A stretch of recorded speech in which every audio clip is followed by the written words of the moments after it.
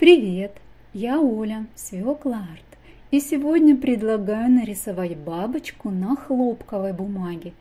Техника изображения на хлопке немного отличается от той, что я вам показывала на целлюлозной бумаге, поэтому я прокомментирую некоторые моменты. Начинаю я работу с фона. Для фона намешиваю такой сероватый цвет, который получается обычно из смешения трех основных, желтый, синий и красный. Можно взять абсолютно любые этих, эти цвета. Ну, в данном случае у меня может присутствовать ультрамарин, карминовая и какой-нибудь желтенький, например, сено натуральное, либо кадмий желтый. Итак, я увлажняю свой хлопковый лист, это 100% хлопок, стопроцентный. А, увлажняю все, кроме бабочки. То все остальное будет у меня сейчас плавно расплываться, бабочка у меня будет четко в фокусе. Плюс она белая, поэтому я ее не трогаю. Начинаю работать вот с этого серого цвета и помню, что раз работая на хлопке, обязательно цвет после просыхания бумаги станет светлее. Поэтому я его целенаправленно сейчас накладываю чуть ярче, чем хотелось бы получить в результате. Раз у меня лист влажный, это позволяет мне прямо на хлопке, прямо на листе смешивать различные оттенки. То есть я начала с серого, потом добавила немного больше синего, в данном случае индантреновой синий. А где-то добавлю больше желтого. То есть здесь прям фантазия а, полностью ее полет. Можно побрызгать, можно покапать водой, можно посыпать солью. Все зависит от того, какой результат вам хочется получить. Вот таким образом обхожу бабочку, а все остальное я заливаю фоном. Не забывая о том, где у меня будет, будут цветы, то есть я примерно их уже в голове у себя наметила, поэтому прям туда можно, кстати говоря, уже синим побрызгать. Ну, можно и, в общем-то, оставить пока все размытое, а цветы потом сделать четко в фокусе.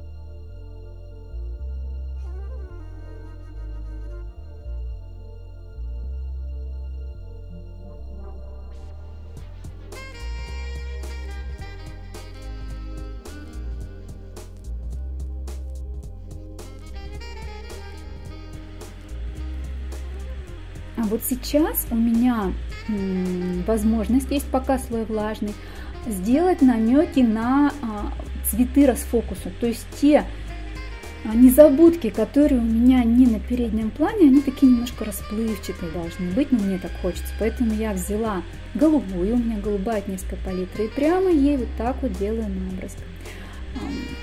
Можно побрызгать тут же, опять повторюсь, водичкой, получится такие вот звездочки. Я беру сиену натуральную, чтобы добавить еще теплоты. Мне ее обычно не хватает почему-то, поэтому я ее сейчас добавляю. Пока слой влажный, мы можем смело внедрять какие-то моменты, элементы. Только он начнет подсыхать, тогда лучше уже не лезть туда мокрой кисточкой, а дать полностью просохнуть слоем. Вот это мой первый слой.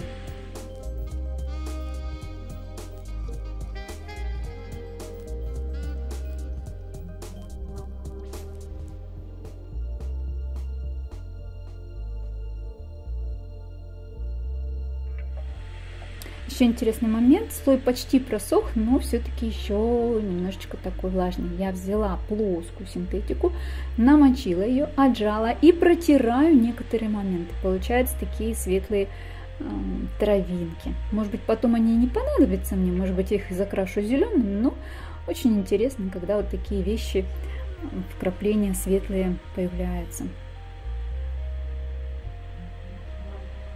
Все, видите, начал подсыхать у меня уже лист. Я побрызгала чистой водичкой, чтобы получить такие звездочки.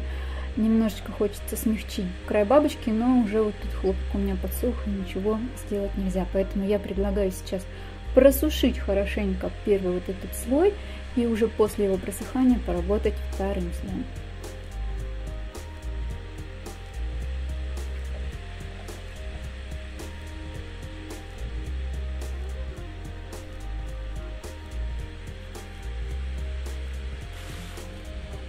Моя работа подсохла. Я начинаю уточнять, то есть по сухому я буду прорабатывать некоторые детали. Это цветы, это крылья бабочки, это какие-то зеленые травинки, тычинки. То есть сейчас у меня первый слой уже намертво въелся в бумагу, я его никак не поврежу, поэтому могу смело работать вторым слоем. Начиная с сердцевинок незабудок, хотя можно начинать, в общем-то, из э, лепестков. Я взяла голубую, кое-где в голубую я добавляю ультрамарин, и тот и тот цвет у меня от несколько палитры. Он замечательно подходит для листочков незабудок, такой нежный голубой цвет. Иногда голубизна может уходить в сторону фиолетового, поэтому я буду добавлять карминовую.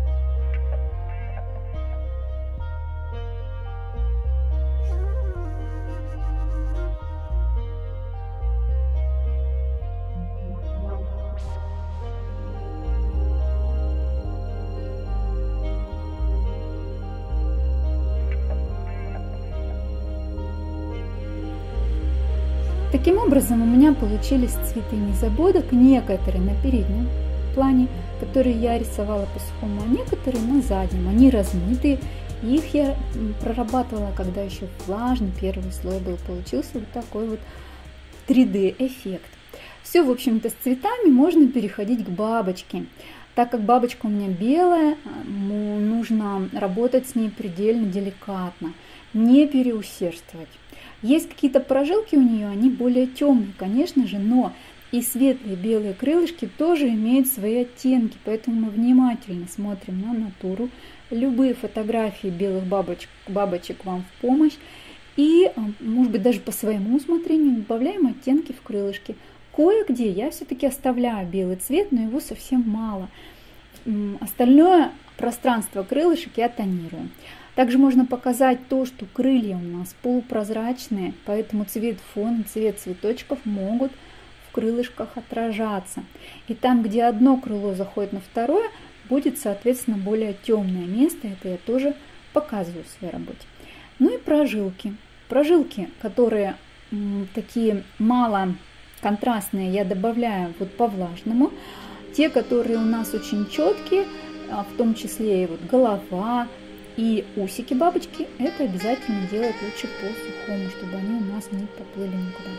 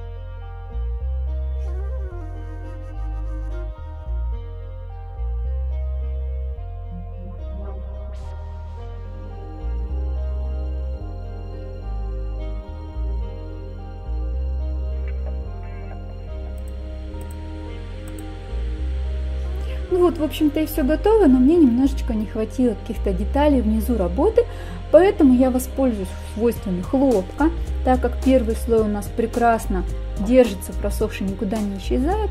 Я просто-напросто вторым слоем сейчас буду делать намеки на э, какие-то тоже, возможно, цветы, незабудки. Я увлажнила не полностью лист, а частично и добавляю такую а, полупрозрачную голубую акварель, показывая намеки на цветы. То есть тут я ничего уже не прорисовываю, а такие небольшие намеки. Пусть фантазия зрителей дорисует сама какие-то элементы работы.